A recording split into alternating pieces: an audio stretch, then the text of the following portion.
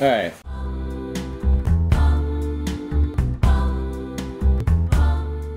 So when you first get this thing, it's not gonna say very important, keep safe. This is the EcoFuse memory card for your cameras, your drone. I use it for my cameras for photography and the reason I wrote this, very important, keep safe, is because I tend to be a little bit messy, I guess, and I throw things all around, especially when I'm running around trying to take a photo or do something like that.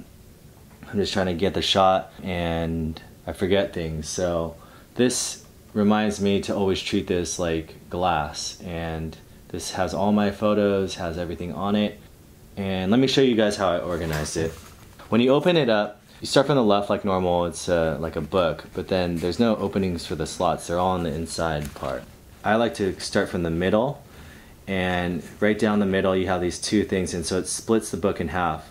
They give you a bunch of labels, which is helpful, and I use those labels to label each side.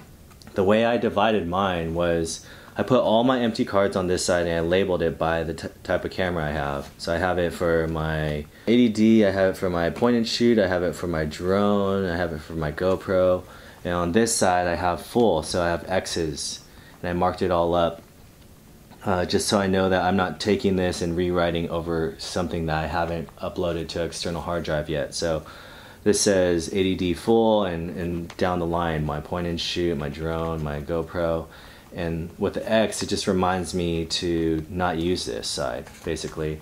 I know it might sound dumb, but maybe you might find this, you know, helpful. And I wish someone would have done that for me to kind of explain, you know, how they do their layout or their workflow. Again, you don't want to write over something that you haven't copied to external hard drive and now basically you just did a whole day, two days, maybe a whole trip and now all that footage is gone. It's just a way to stay organized. I'm really trying to stay more organized and that's what, you know, I want to help you guys do too. Become a better photographer, become a better professional, whatever you're trying to do and I want to give you the resources and little tools and tips that I use. Thanks again for watching and we'll talk to you soon.